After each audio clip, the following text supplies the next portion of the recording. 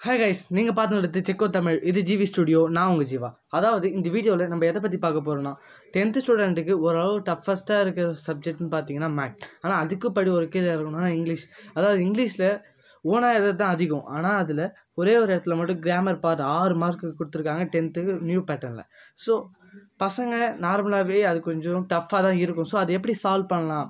நீ எல்லா வாட்டியும் பண்ணியிருக்கான்னு என்ன கேட்டிங்கன்னா அது இல்லை. ஆனால் பல ஒப்பீனியன் பல அனலைசிஸை வச்சு எங்கள் சார் எல்லோரும் சொன்னதை வச்சு இந்த வீடியோ நான் உங்களுக்கு ப்ரெசென்ட் பண்ணுறேன் இந்த வீடியோ டில் எண்டு வரைக்கும் பாருங்கள் கன்ஃபார்மாக ஃபுல் மார்க் எடுக்கலாம். அந்த ஆறு மார்க் அந்த ஈஸியாக நைன்ட்டிக்கு மேலே ஸ்கோர் பண்ணலாம். செம்ம சான்ஸ் இருக்குது ஸோ மறக்காமல் நம்ம சேனலை சப்ஸ்கிரைப் பண்ணிவிட்டு ஃபாலோ பண்ணுங்கள் ஓகே அது மட்டும் இல்லாமல் ஹலோவில் செக்வன் தமிழ்ன்றத ஃபாலோ பண்ணிக்கோங்க. சரி ஓகே வாங்க.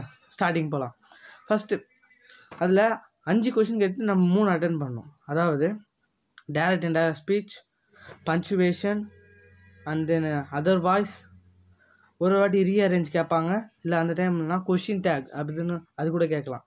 ஸோ எப்படி பார்த்தாலும் உங்களுக்கு ஒரு கொஷின் எப்படி எப்படி போட்டாலும் ஒரு ஏழு டைப்பில் தான் கொஷின் கேட்பாங்க. ஏழுலேருந்து அஞ்சு எடுப்பாங்க. ஸோ கம்பல்சரியாக வர பஞ்சுவேஷனை பற்றி பார்க்கலாம். அதாவது நான் உங்களுக்கு எப்படி சொல்கிறதுனா பஞ்சுவேஷன் இருக்குது ஸோ ஸ்டார்டிங் கேபிட்டல் லெட்டர் எண்டில் ஃபுல் ஸ்டாப் அங்கங்கே போடுவீங்க. சப்போஸ் ஒரு கொஷினில் he was going to the park அப்படின்னு மட்டும் வந்துச்சுன்னா என்ன பண்ணுவீங்க ஸ்டார்டிங் கேபிட்டல் லாஸ்ட்டில் புதுசாக மட்டும் வைக்கிறவங்க பல பேர் இருக்காங்க. ஸோ இப்படி பண்ணிங்கன்னா உங்களுக்கு ஒரு மாதிரி தான் கிடைக்கும். இந்த மாதிரி உங்களுக்கு சென்டரில் எந்த ஒரு குறியும் போடாத மாதிரி ஏதாவது ஒரு கொஷின் கேட்டால் நீங்கள் அந்த நேரத்தில் எல்லாம் பண்ணணும்னா அந்த நேரத்தில் சுற்றி அந்த ஸ்டார்டிங்லேருந்து எந்த வரைக்கும் ஒரு கொட்டேஷன் மார்க் சுற்றி சுற்றி போட்டால் மட்டும் தான் உங்களுக்கு ரெண்டு மார்க் கிடைக்கும். ஸோ இந்த இன்ஃபர்மேஷனை ஞாபகம் வச்சுக்கோங்க. ஏதோ ஒரு இடத்துல உங்களுக்கு கன்ஃபார்ம் ஆகும். ஸோ அது மட்டும் இல்லாமல் அடுத்து direct inter speech maximum direct indirect ஸ்பீச்சை follow step படி மனப்பாடம் பண்ணிக்கோங்க. அதுதான் உங்களுக்கு நல்லது. இப்போ எப்படின்னா டேரக்ட் இன்டேரக்ட் ஸ்பீச்சில் ஃபோர் டைப்ஸ் இருக்குது அதாவது statement interrogative imperative exclamatory so அதுக்கான அது என்னென்ன சொல்லுதோ அதை பார்த்துக்கோங்க. அது மட்டும் இல்லாமல் எந்தெந்த வேர்டு இன்டேரக்ட்லேருந்து டேரெக்டாக மாற்றுற அதுக்கான ஃபாலோயிங் ஸ்டெப்ஸை மனப்படம் பண்ணிக்கோங்க. அதுதான் ரொம்ப ரொம்ப முக்கியமான ஒரு விஷயம். ஸோ டேரக்ட் இன்டேரக்ட் ஸ்பீச்சில் நீங்கள் மார்க் எடுக்கணும்னா உண்மையிலே ஜஸ்ட் ஸ்டெப்பை நீங்கள் ஃபாலோ பண்ணி எந்த ஒரு கொஸ்டினாக இருந்தாலும் அதுக்கான ஸ்டெப் இதுதான் அதுக்கான ஸ்டெப் மட்டும் பார்த்துக்கிட்டிங்கன்னா போதும். அதாவது ஸ்டேட்மெண்ட் அப்படின்ற ஒரு சென்டென்ஸில் சென்ட்ரல் தட் போடணும் அப்படின்னு வச்சுக்கோங்க. எக்ஸ்லமேட்டரியில் தட் போடணும். அது மட்டும் இல்லாமல் இம்பரேட்டிவில் டூ போடணும். அதுக்கப்புறம் இன்டர் இன்ட்ரா நெகட்டிவில் இஃப் போடணும். ஸோ இந்த மாதிரி ஞாபகம் வச்சுக்கிட்டாவே நம்மளால் ஈஸியாக ஸ்கோர் பண்ண முடியும் மார்க் ஸோ உங்களுக்கு என்ன சொல்ல வரேன்னா கண்டனை கரெக்டாக புரிஞ்சுக்கிட்டு படிங்க.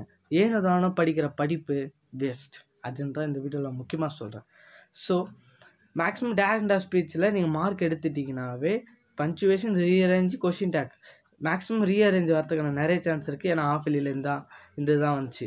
So first session second session வந்ததை பற்றி நீங்கள் படிக்கவே தேவையில்ல தேவையில்ல தேவையில்ல. ஸோ உங்களுக்கு என்ன சொல்கிறேன்னா ஆஃப் இயர்லியில் வந்த பேட்டர்ன் மட்டும்தான் வர வாய்ப்பு இருக்குது புதுசாக சேஞ்ச் பண்ண மாட்டாங்க. ஸோ மேக்ஸிமம் இந்த மெத்தட்லேயே படிச்சுட்டு வாங்க. அதுதான் உங்களுக்கு நல்லது. ஸோ அது மட்டும் இல்லாமல் பல சரி படிச்சுட்டு சும்மா மட்டும் இருக்கக்கூடாது அது மட்டும் இல்லாமல் பல கொஷினை பார்க்கணும். கொஷினை பார்த்து டீப் அனலைஸ் பண்ணணும். ஸோ இப்போ டேரக்ட் டாக் ஸ்பீச் இருக்குது என்கிட்ட கொஷின் இருக்குது நான் கொஞ்சம் கொஷின் சொல்கிறேன் ஆன்சர் சொல்ல முடியுதான்னு பாருங்கள் இப்போது direct indirect ஸ்பீச்சில் Kavitha is my sister she teachers will us English அப்படின்ட்டு ஸோ நார்மலான சென்டென்ஸ் அதாவது ஸ்டேட்மெண்ட் சென்டென்ஸ் அப்படின்னு நம்ம நினச்சிட்டு சென்டர் தட் போடணும் அதெல்லாம் நம்மளே போட்டு முடிச்சிட்டிங்கன்னா ஈஸியாக டேட் இன்டர் மார்க் வாங்கணும் ஸோ அது மட்டும் இல்லாமல் ஒரு ஒரு இடத்துல கனெக்டர்ஸ்னு வரும். அதாவது he saw a tiger so he ran away அப்படின்னு இருக்கும் ஸோ அதாவது he saw a snake advance he ran away அப்படின்னு இருக்கும். ஸோ சென்ட்ரல் ஒரு புல் ஸ்டாப் அந்த இடத்துல கொஞ்சம் யோசிச்சு பார்க்கணும். சோன் போட்டால் அந்த இடத்துல வருமா? இல்லை பட்டன் போட்டால் வருமானு யோசிக்கணும். மேக்ஸிமம் எல்லாத்துலேயும் சோன்ற வேர்டு யூஸ் யூஸ் ஆகணுன்றதுனால ஸோ மேக்ஸிமம் அந்த ஆஃப் எலியில் கொடுத்த அந்த அஞ்சு மட்டும் படிக்காமல் இந்த ஒரு பார்ட்டில் மட்டும் இது சேஃப்டிக்கு படிச்சுட்டு போங்கன்றதை இந்த வீடியோவில் நான் சொல்லுவேன்.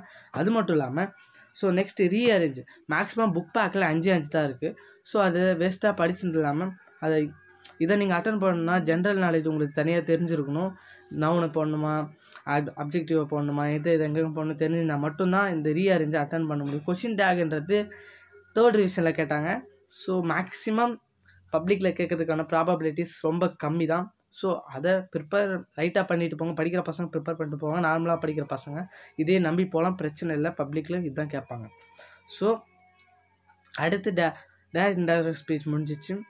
ஸோ சேஞ்ச் நான் passive voice and active voice நீங்கள் இதில் இந்த இதில் என்ன பண்ணுறீங்கன்னா மேக்ஸிமம் புக் பேக்கை தரவாக மனப்பாடம் பண்ணிட்டு வாங்க உண்மையிலே என்ன சொல்கிறேன்னா மேக்ஸிமம் அது ஆர்டர் அதாவது ஒரு நார்மலான மெத்தட் படி ஃபாலோ ஃபாலோ பண்ண முடியலனாலும் மேக்ஸிமம் மனப்பாடமாக பண்ண பாருங்கள் அதுதான் இந்த வீடியோவில் நான் சொல்லுவோம் எப்படி சொல்கிறதுனா இப்போ ஆ என் manager appointed many office assistant அதை many office assistant were appointed by the manager so maximum மனப்பாடம் பண்ண பாருங்கள் அப்படி இருந்தால் ஈஸியாக நம்ம மார்க் எடுக்க முடியும். அதாவது மிஸ்டேக் பண்ணால் மார்க் எடுக்கிற மெத்தடை தான் நம்ம யூஸ் பண்ணுவேன் அது மனப்பாடம் பண்ணுற எத்தனை பேர் சொன்னாலும் மார்க் தான் முக்கியம். ஸோ இந்த மெத்தட் யூஸ் பண்ணுங்கள் கடைசியாக காம்பவுண்ட் சென்டென்ஸ் அந்த மாதிரி காம்பவுண்ட் சென்டென்ஸ் எல்லாம் இருக்குது அது எப்படின்னா அதுவும் இந்த டைப் தான். மேக்ஸிமம் மனப்பாடம் பண்ணிட்டு போய் மார்க் எடுக்கலாம் மட்டும்தான் இதிலலாம் நல்லா ஸ்கோர் பண்ண முடியுன்றதை நான் சொல்லுவேன். எப்படின்னா நான் டீப் அனலைஸ் கொடுக்குறேன் அதாவது Ram is too poor to buy as bicycle. இதை காம்ப்ளெக்ஸ் சென்டென்ஸாக மாற்றோம்னா ராம் இஸ் சோ புவர் அப்படின்னு நம்ம போடணும் அதாவது இது அந்த டைம் உங்களுக்கு ஞாபகம் இல்லை இல்லை? மேக்ஸிமம் மனப்பாடம் பண்ண முடிஞ்சால் நம்மளுக்கு டைம் இருக்குது ரொம்ப டைம் இருக்குது ஸோ மேக்ஸிமம் மனப்பாடம் பண்ணிவிட்டு கரெக்டாக போய் எக்ஸாமில் எழுதுங்க. கிராமரை பொறுத்த வரைக்கும் ஒரு சிலர் தான் மனப்பாடம் பண்ண முடியுன்றதையும் நினச்சிக்கோங்க. பஞ்சுவேஷன்லாம் மனப்பாடம் பண்ண போகிறதில்ல எப்படி இருந்தாலும் அது உங்களுடைய லெவன் தான். அதாவது உங்களோட லேர்னிங் ப்ராசஸில் மட்டும்தான் பண்ண முடியும். எப்படி பார்த்தீங்கன்னா உங்களுக்கு மூணு தான் அட்டன் பண்ணும். பஞ்சுவேஷன் ரீஅரேஞ்ச் அண்ட் தென் இந்த அதாவது direct speech other voice or complex இந்த மூணுத்தில் ஏதோ ஒன்று தெரிஞ்சிருந்தாவே போதும். ஸோ மேக்ஸிமம் அஞ்சுமே நான் படிச்சிட்டேன்ற நம்பிக்கையில் போனால் தான் அந்த மூணு டெஃபினட்டாக அட்டன் பண்ண முடியும். ஸோ இந்த மூணு உங்களால் அட்டன் பண்ண முடிஞ்சா மேக்ஸிமம் நைன்ட்டி மேலே எடுக்கலாம் ஸோ இந்த நைன்ட்டி மேலே எடுத்தவங்க கமெண்ட் பண்ணிவிட்டு இந்த வீடியோ யூஸ்ஃபுல்லாக இருந்தால் மெசேஜ் பண்ணுங்கள் ரொம்ப நன்றி. மறக்காமல் இந்த வீடியோ எல்லாருக்கும் ஷேர் பண்ணுங்கள்